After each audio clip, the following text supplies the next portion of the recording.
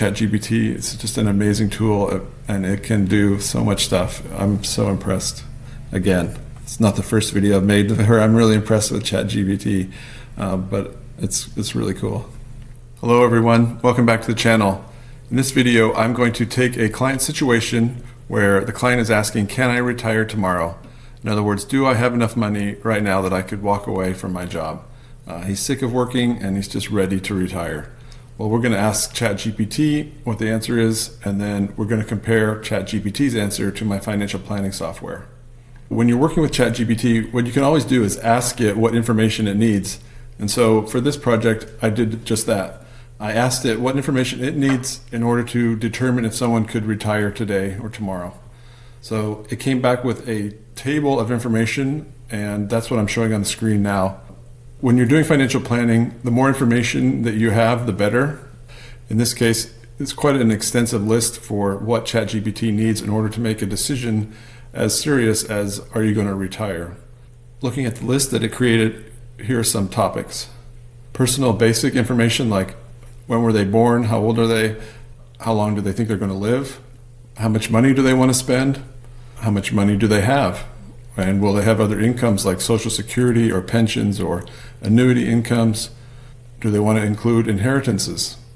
Also, ChatGPT or any financial planning software needs to know what investments they have and how they're allocated.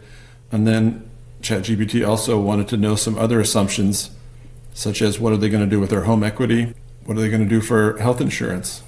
Do they have any plans to do Roth conversions or withdraw from their accounts in an unusual manner?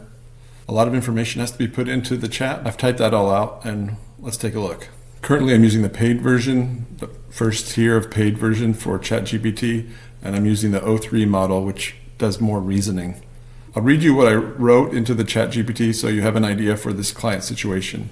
He was born in December 1960, which means he'll be 65 this year. His wife is a couple of years younger. We are going to say they will live to age 90. And after taxes, they'd like to spend 120,000 per year.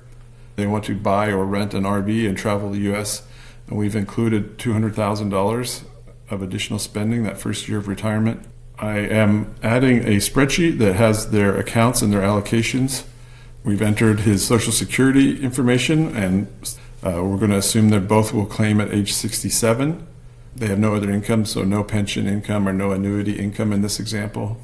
We're not going to include any inheritance, and we're going to assume also they do the standard withdrawal order of taxable brokerage accounts first, then tax deferred, which are IRAs, 401ks, 403bs, and then finally their Roth accounts.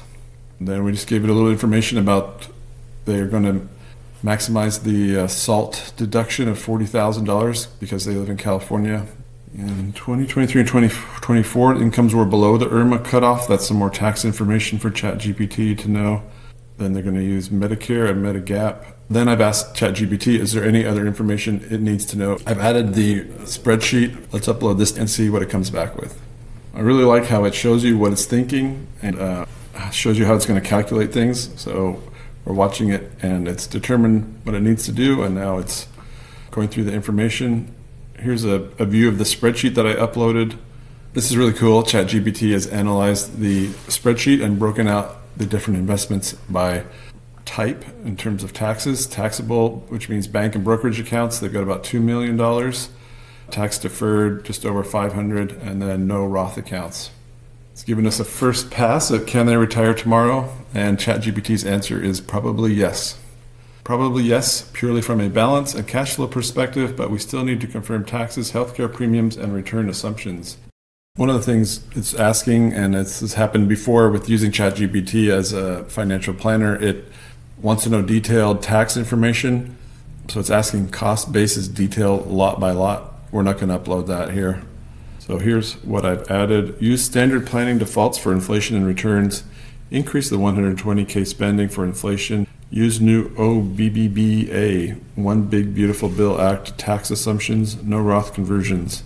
In order to simplify things a bit, let's say that the Medicare and Medigap expenses, healthcare expenses, are part of the 120,000 per year that they want to spend. Okay, we'll send this back.